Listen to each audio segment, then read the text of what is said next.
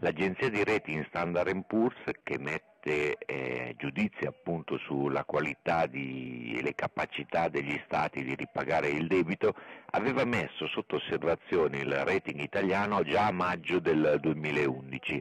Quindi il taglio che è avvenuto stamani non giunge inaspettato, giunge improvviso solo sui tempi perché eh, lo si attendeva tra qualche giorno, forse tra qualche mese, invece Standard Poor's ha anticipato ad oggi questo taglio.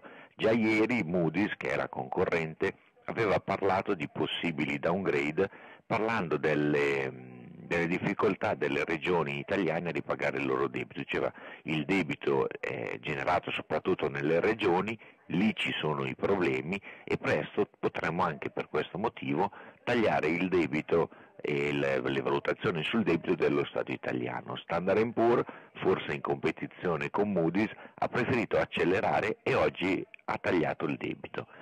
Come andavano le cose in Italia si sapevano, qui si stanno sottolineando soprattutto i problemi dell'esecutivo del governo Berlusconi a ripianare il debito che è superato i 1900 miliardi di, di euro, quindi una, una cifra stratosferica, è il più alto degli stati con rating sopra la A, quindi come, come, risolvere questo problema sembra non essere in grado la politica italiana. A questo punto però quello che preoccupa di più e dovrebbe preoccupare di più i mercati non è tanto quello che ha fatto oggi Standard Poor's, che probabilmente era già scontato, perché sappiamo che i mercati comunque ieri avevano già perso il 3% ed è da tempo che sono sotto pressione.